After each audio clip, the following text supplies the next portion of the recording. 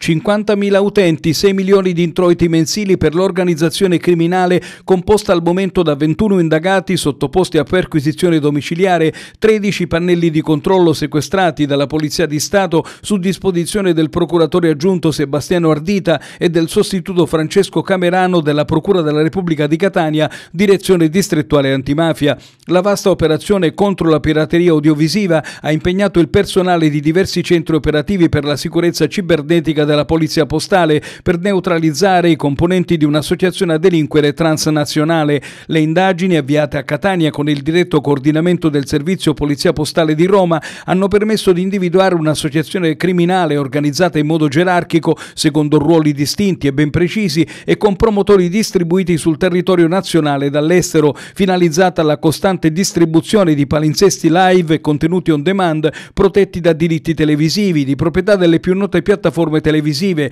come Sky, Dazon, Mediaset, Amazon Prime, Netflix attraverso il sistema delle IPTV illegali. Un'attività di indagine prolungata e complessa che alla fine ha consentito di infliggere un duro colpo all'organizzazione criminale, ha sottolineato Marcello Labella, dirigente del Centro Operativo per la Sicurezza Cibernetica di Catania, che nell'area etnea ha avviato le indagini e individuato una base organizzativa.